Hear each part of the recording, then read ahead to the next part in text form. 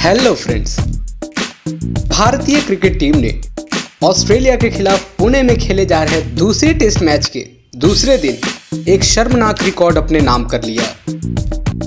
एक ऐसा रिकॉर्ड जो भारतीय टेस्ट क्रिकेट के इतिहास में पहली बार हुआ है। जी हाँ पर खबर में आगे बढ़ने से पहले, अगर आपने हमारे चैनल डी क्रिकेट को सब्सक्राइब नहीं किया है तो कृपया इसे सब्सक्राइब करें।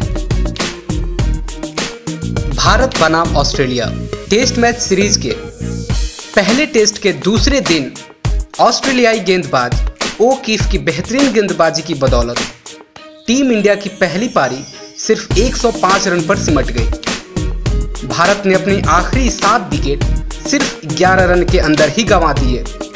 जी हाँ 1932 से टेस्ट क्रिकेट खेल रही टीम इंडिया का अब तक का यह सबसे खराब प्रदर्शन है।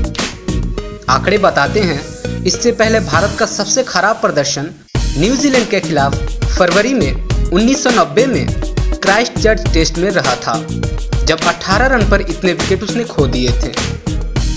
उस टेस्ट में भारतीय टीम अपनी पहली पारी में एक रन पर सिमट गई थी। 146 से एक रनों के बीच भारत ने सात विकेट खो दिए थे। परंतु आज के मैच में, पचासी साल के इतिहास में यह पहला मौका है जब टीम इंडिया की पारी इतनी बुरी तरह से लड़खड़ाई है और सात विकेट महज 11 रनों के अंदर गंवा दिए हैं। फ़िलहाल ऑस्ट्रेलियाई टीम अपनी दूसरी इनिंग में 143 रनों के साथ दो रनों की बढ़त पा चुकी है।